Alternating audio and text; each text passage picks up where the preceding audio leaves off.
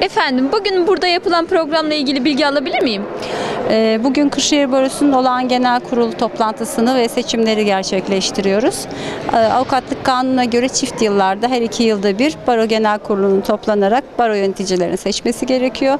2020 Ekim e, 2020 yılı Ekim ayında yapılması gerekiyordu seçimimizin ancak pandemi nedeniyle e, seçimler ertelendiği için bir yıl gecikmeli olarak seçimimizi gerçekleştiriyoruz. Sabah genel kurul toplantımızı yaptık. 3 yıllık faaliyet raporumuz okundu. Ee, İbralar alındı ve şimdi de e, seçim gerçekleştiriliyor.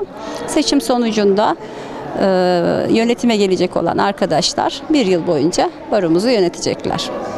Peki efendim adaylar kim? E, Şu an başkan adayı olarak bir arkadaşımız var sadece. Avukat Onur Çanta var. Bildiğiniz üzere ben 9 yıldır Kırşehir Barosu'nun başkanlığını yapmaktaydım. E, Ben görevimi tamamladığım inancımla görevimi genç arkadaşlara devrediyorum.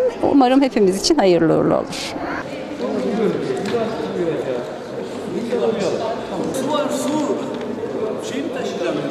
Dört dönem boyunca başkanlık yapan Mehtap Karaburçak Tuzcu'nun aday olmadığı genel kurula tek liste olarak giren avukat Onur Çanta Kırşehir Barosu'nun yeni başkanı seçildi.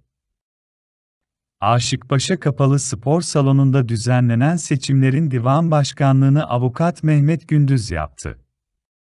Çanta, genel kurulda yaptığı açıklamasında, genel kurulun pandemi nedeniyle ertelendiğini, genel kurul öncesinde de adaylık süreci için meslektaşları ile birebir görüşmeler yaptığını aktardı. Birliktelik mesajı veren Çanta, tespit ettiğim sorunlarımızı çözmek için hep birlikte çalışmalar yürüteceğiz. Başkanımız ve bizden öncekiler de gerekli çalışmalarda bulundu. Bizler üzerine ne koyabileceğimiz hususunda çalışmalar yapacağız. Amacım, çoğulcu ve katılımcı bir anlayışla baromuz ve meslektaşlarımıza gereğince hizmette bulunabilmektir, dedi.